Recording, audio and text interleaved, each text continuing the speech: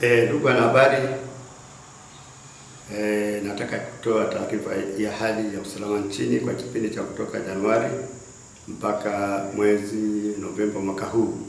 Kwa jumla, hali ya usalama nchini imeendelea kuimarika siku hadi siku. Hii inatokana na kazi kubwa ambayo imekuwa ikifanywa na jeshi la polisi, lakini pia kwa kushirikiana na vyombo vingine vya ulinzi na usalama, lakini pia ushirikiano kutoka kwa wananchi ambao wamekuwa wakilipa jeshi la polisi taarifa zinazohusiana na wahalifu, lakini pia uhalifu.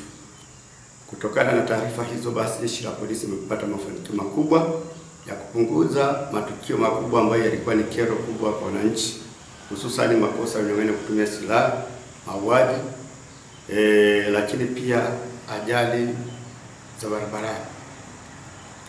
E, kwa kipindi hicho cha mwezi Januari mpaka mwezi Novemba tunaona matukio ya unyang'anyi wa kutumia silaha yamepungua kwa kiasi kikubwa kulinganisha na mwaka uliotangulia, yaani mwaka 2019.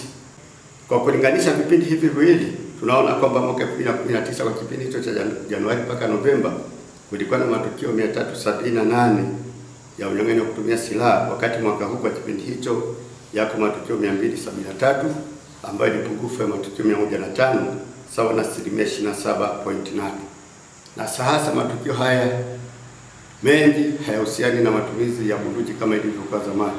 Ni matumizi ya silaha nyingine ndogo ndogo kama panga, nondo, visu e, e, na marungu, vitu kama hivyo, lakini matumizi ya bunduki kwa kweli kwa asilimia kubwa sana sana yamedhibitiwa kwa kiwango kikubwa katika mikoa yote hapa kwetu Tanzania. Pia hata matukio ya mauaji, mauaji nayo yamepungua kwa kiasi kikubwa. Mauaji ambayo yalikuwa yanasababishwa na matukio mfano ya unyang'anyi wa kutumia silaha ni kwamba nayo yamepungua sana, kama hayapo. Sana sana matukio mengi ya mauaji sasa hivi yanatokana na e, imani za kishirikina e, e, wivu wa kimapenzi, lakini pia wananchi kujichukulia sheria mikononi. Haya ni mauaji ambayo yanahitaji sana kutoa elimu, lakini pia kushirikisha wadau wengine, ikiwa ni pamoja na viongozi wa dini. Kwa mfano, matukio ya mauaji yanayotokana na wivu wa mapenzi ambayo kwa sasa ndio yanayoongoza. Viongozi wa dini tunaamini kabisa kwamba wanaweza kutoa mchango mkubwa sana, kwa sababu haya yanatokana na mmonyoko wa maadili.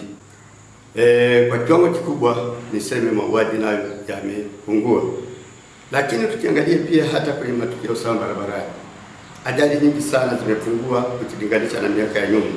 Kwa kipindi cha Januari mpaka Novemba mwaka huu ukilinganisha na mwaka jana, tunaona kwamba matukio ya usalama barabarani yamepungua kama ifuatavyo.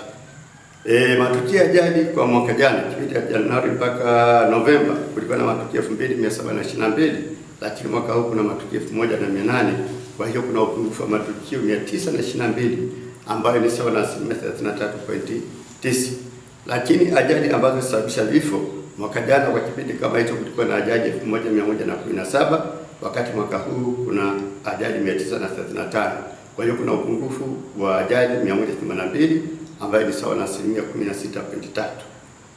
Pia waliokufa mwaka jana kwa kipindi kama hicho cha Januari mpaka Novemba walikuwa ni 1329 wakati mwaka huu ni 1158 ikiwa ni pungufu la vifo 171 ambayo ni sawa na asilimia 12.9. E, waliojeruhiwa kutokana na ajali hizo kwa mwaka jana ni 2717 lakini mwaka huu ni 2089 kukiwa na upungufu wa majeruhi 628 ambayo ni sawa na asilimia 23.1. Kwa hiyo ukiangalia unaona jinsi ambavyo ajali zimepungua, vifo vimepungua, majeruhi yamepungua. Hii yote tuseme kwamba ni kwa sababu ya kazi kubwa sana ambayo inafanywa na jeshi la polisi, lakini pia kushirikiana na wadau wengine wa usalama barabarani, kutoa elimu, lakini pia kuchukua hatua za kisheria pale inapo inapobidi. Hivi karibuni kumezuka wimbi la uchomaji wa shule hasa mabweni. E, katika kipindi hiki cha mwaka huu, kwa mwaka jana matukio kama hayo yalikuwa yanatokea, kama yalikuwa yanatokea ni kidogo sana, na sababu zilikuwa ziko wazi sana. sana sana ilikuwa ni hitilafu za umeme, lakini mwaka huu tunashuhudia kulikuwa na matukio ya ya kuchoma shule ambayo yanafikia thelathini na moja. Shule zilizoungua moto ni kumi na saba, hizi za taasisi za dini pamoja na za watu binafsi, lakini za serikali zilikuwa ni kumi na moja, kwa jumla ilikuwa ni ishirini na nane.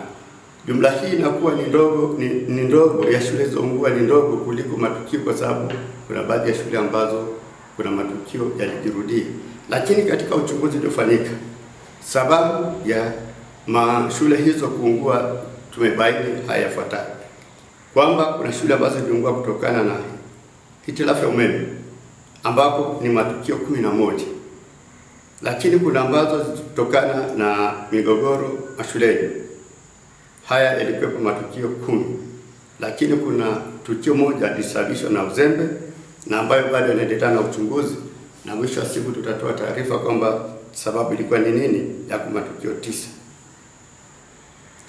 Katika matukio haya wapo watu ambao wamekamatwa kuhusiana na matukio hayo ambayo ni kama ifuatavyo: wanafunzi waliokamatwa ni 32, walimu waliokamatwa ni wawili, lakini walinzi ni wawili, wengineo ni watano.